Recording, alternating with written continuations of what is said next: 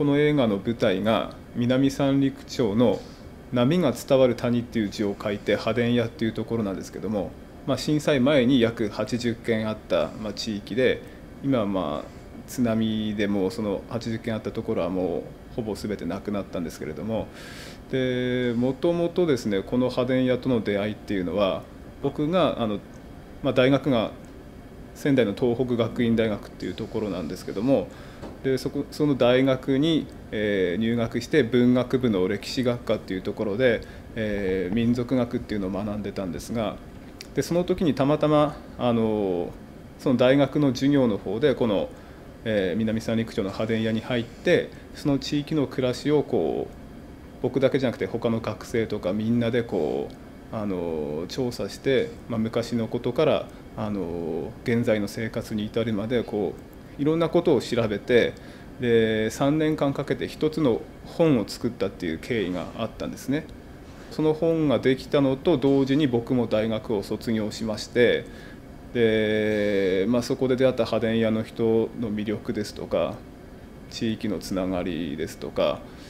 まあ、文章で表現しきれなかったあのその瞬間を生きてる生の人間の魅力ですとかその言葉とかそういったものをですね映像で伝えていう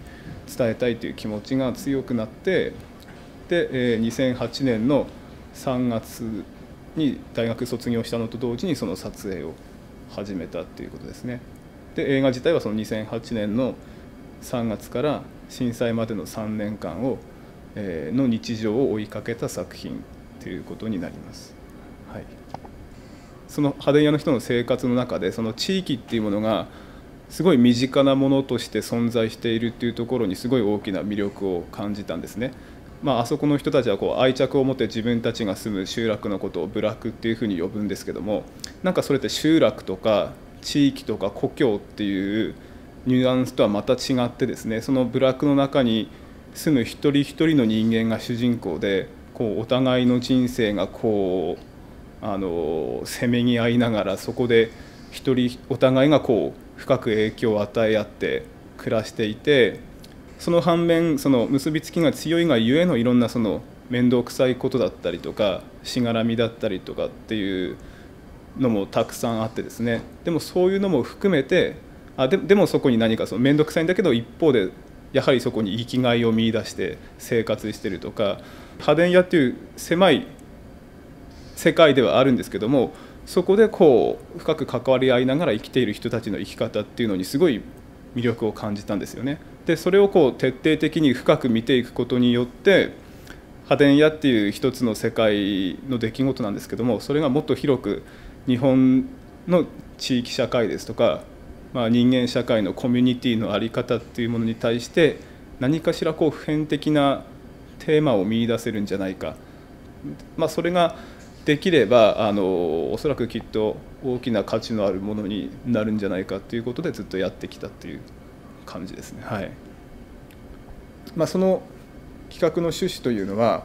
あの、まあ、この今震災から3年っていうタイミングが結構重要な時期だと思っていて、まあ、この震災前のその、えー、沿岸部の人の暮らしとか生き方とか、まあ、地域の在り方っていうものをもう一度こう見つめ直してそのそれぞれの土地に住むそれぞれの地域の人たちが、まあ、一つのこの映画を通してあの自分たちのこれまでの歩みとか背景に当たる部分っていうものをこうもう一度沿岸部全体で見つめ直して、まあ、被災地の未来というか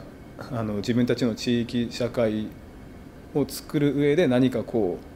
う一助になればということであの縦断上映会を企画したんですね。一方的にこっちが上映するだけじゃなくてあのその地元で頑張ってる若い人ですとか